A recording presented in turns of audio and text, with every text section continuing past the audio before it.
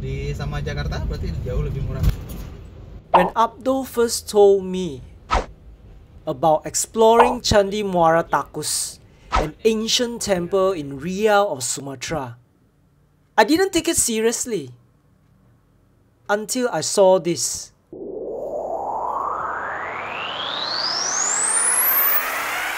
Hello, welcome to Candi Muara Takus.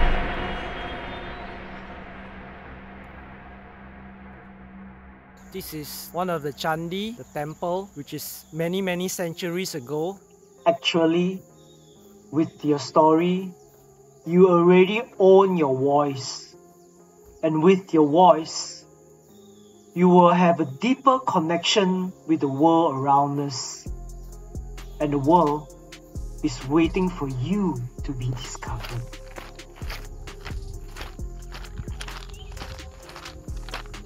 Until today, the archaeologists are not sure of the existence of this temple.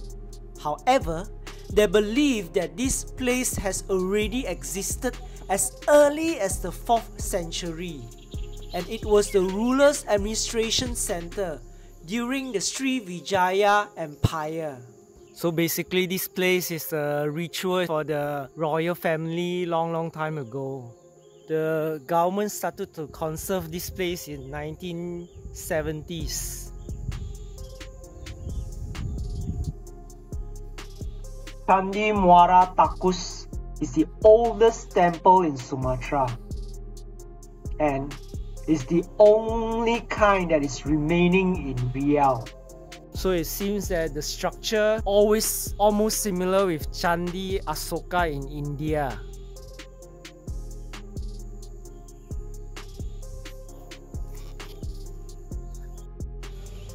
As you can see here, the structure looks like a cylinder shape and the lower part of the cylinder that's the shape of a lotus flower. So it represents hinduism. It's a place for prayers. So the structure of all the four days it is square shape. This area have four distinct structure and no one seems to know how long does this Chandi exists. Some say it's during the 4th century, some say it's 7th century, some even say it's 9th century and some even say it's 11th century.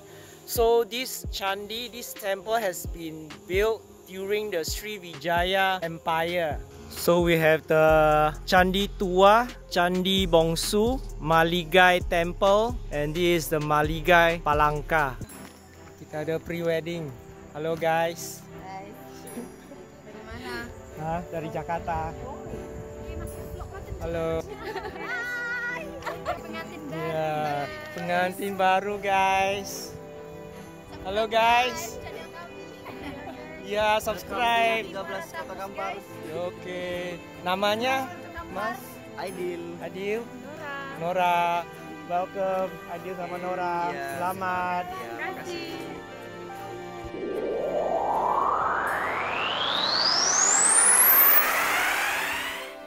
So that's the river going across the plantation. Henferd Land is just 10 minutes drive from the Candi Muara Takus. It's a quick getaway for the locals as it provides a peaceful location for mental healing. It sits in the middle of an oil palm plantation.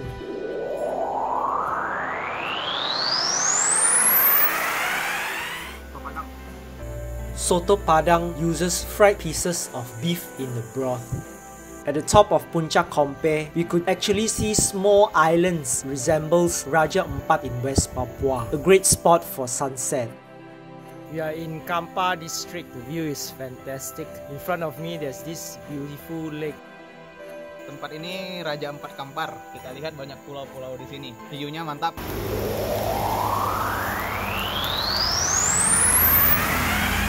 We are trying the satay here. Satay ayam kuok is one of the 41 types of satay in Indonesia. Juicy slices of marinated meat on a thin bamboo skewers, grilled to perfection on a charcoal open fire. The thick, spicy green sauce that makes it unique. Ini sate kuok. Ah, sate asli kuok. Nah, ah, bedanya dengan sate Padang dan sate-sate lain itu warna satenya itu warna hijau.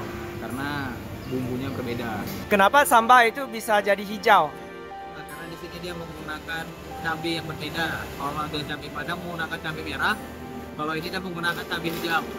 Jadi ini cabai hijau, jadi kelihatannya hijau.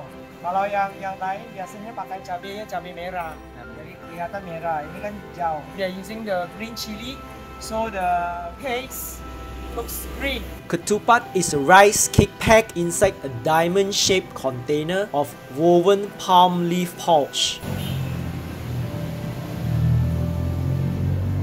Is the rice, ketupat.